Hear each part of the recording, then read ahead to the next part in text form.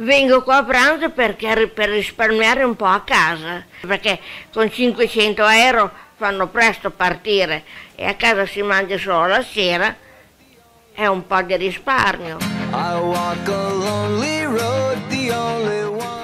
Questa è la mensa dell'Antoniano di Bologna, una onlus che offre un pasto caldo alle persone in difficoltà.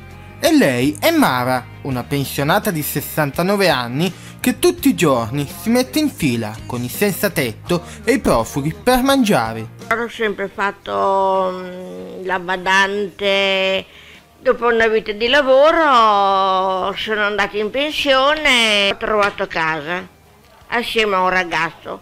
Ci dividiamo le spese, paghiamo 550 d'affitto. Con 500 euro al mese di pensione, Mara è costretta a risparmiare sul pranzo e a fare sacrifici e rinunce.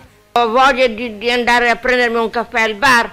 No, perché le costa un euro, un euro mi serve dall'altra parte. Ci vedo le pastine, devo rinunciare. Si fa tanta fatica, ma le voglie le dobbiamo lasciare da una parte. Secondo i dati della Caritas, 4 milioni e mezzo di italiani vivono in condizioni di povertà assoluta. La percentuale rispetto al 2007, l'anno della crisi, è più che raddoppiata, passando dal 3% al 7%.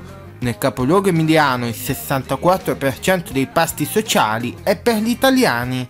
Ci sono nuovi poveri italiani, soprattutto quelli italiani che hanno una certa età oltre 50 anni perdono il lavoro e per una serie di cause non riescono più a reinserirsi nel mondo del lavoro. Ho vissuto anche in strada, ho vissuto dentro la stazione, era bruttissimo, a parte che non si dorme, cioè, la gente che aspetta che deve prendere il treno, gli ubriaconi che vengono dentro. Mi posso ritenere fortunata perché finalmente ho trovato una casa. Sento tanto male, qua c'è una ferita.